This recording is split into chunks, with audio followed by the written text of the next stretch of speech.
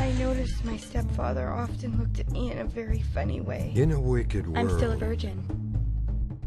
where bad things can sometimes happen Mom, I'm worried about you. You drink too much. to much. good people, Did I hear you mention something about John? He stares at me sort of funny. John is a man who loves life, sex, and pretty women. I know it's been hard on you since Dad died. Can When my innocence drunken mother soon killed herself in a car accident, I really got worried. You have two choices to stay here with me and replace your mother in my bed, or pack your bag and get out of my house. Vanessa.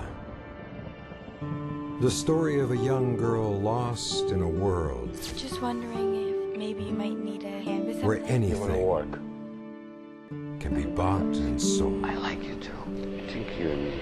and anything can happen. Hi, baby. All you have to do is be nice to my customers. This is Valerie. She's 20. She has already stashed more than 100,000. Good for her. We live in a consumeristic society where everything and everyone has a price.